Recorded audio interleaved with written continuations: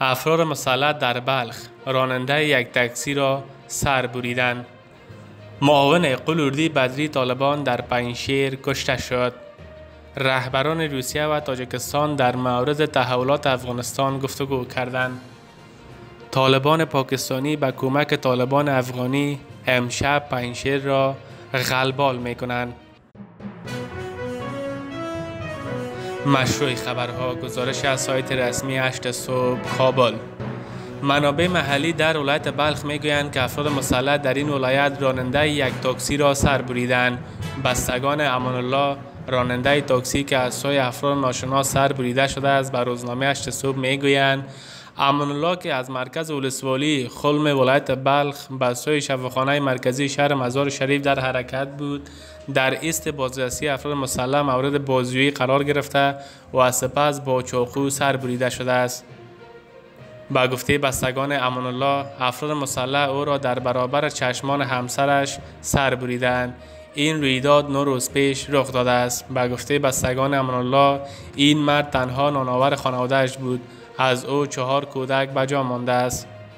طالبان با وجود سپری شدن نوروز از این رویداد تا هنوز عاملان قضیه را بازداشت نکردند.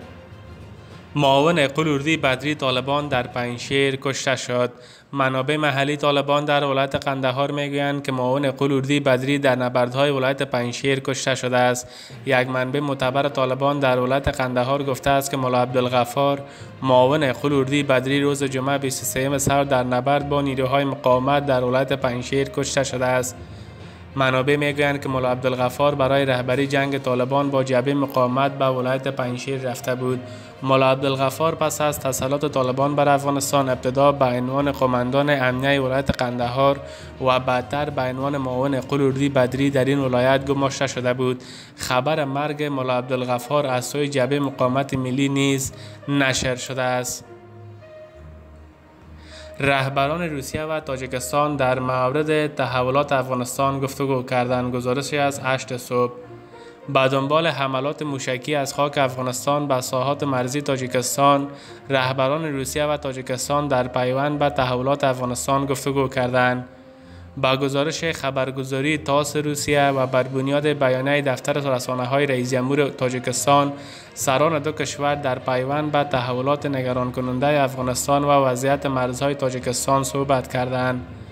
هرچند در این بیانیه جزئیات بیشتر داده نشده اما گفته شده است که قرار است نگرانی های امنیتی تاجیکستان در نشست سران سازمان پیمان امنیت جمعی بررسی شود. این نشست در 16 می با میزبانی روسیه برگزار می شود. جعفر راستین در صفحه رسمی تیوتر خود چنین نگاشته است تجاوز آشکار و خسمانه به حریم مردم تجاوز به خاک مردم و سرزمین مردم نفرین به تجاوزگران جنایت پیشه. این در حال است که آماج نیوز در صفحه رسمی تیویتر خود چنین نگاشته است. فعالان رسانه‌ای طالبان پاکستانی ویدئویی را نشر کرده و ادعا کردند که عملیات تصفیه‌ای در کوههای شتل ولایت پنجشیر جریان دارد. مارشال دوستم در صفحه رسمی تیوتر خود چنین نگاشته است اسناد معتبر وجود دارد که طالبان افغان طالبان پاکستانی را برای کشتار و تاراج هست بود مردم افغانستان دعوت کردند همین اکنون 1200 طالب وزیرستانی در جمع 28000 طالب افغان در اندراب پنجشیر و تخار حضور دارند.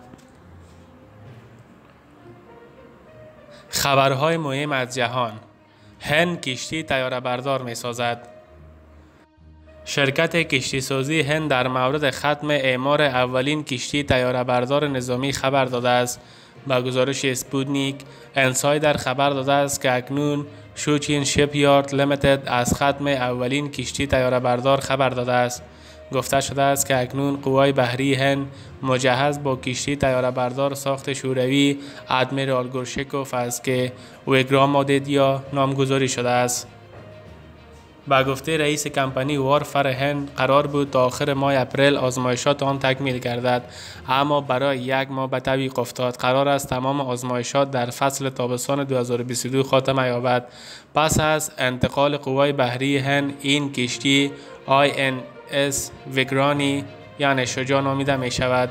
انتظار می رود که این اتفاق در روز استقلال کشور که در 15 اگست تجلیل می شود صورت بگیرد.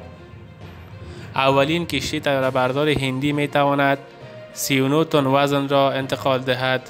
همچنان 26 تیاره جنگی مبتنی بر نو امایجی 29 که هلیکوپتر که 28 و که 31 و همچنین هال داروف و وستلند سیا کینگ را حمل کند. دیگر اینکه کشتی تیاره بردار هندی مجهز به های قدرتمند ضد کشتی های دافع هوا و های دافع هوا برک اید خواهد بود. سایر وظایف توسط تیارات و کشتی های اسکورت انجام خواهد شد. پیش از این گزارش شده بود که چین می تواند همکلاسی وگرام مادیات ها کشتی تیاره بردار لیان یونینگ را که از رزمانو هواپیمابر شوروی ریگا تبدیل شده بود به هند بفروشد. در میان خریداران دیگر روسیه می باشد که می تواند آن را مدرن و مجدد بفروشد. چین به ناتو هشدار می دهد.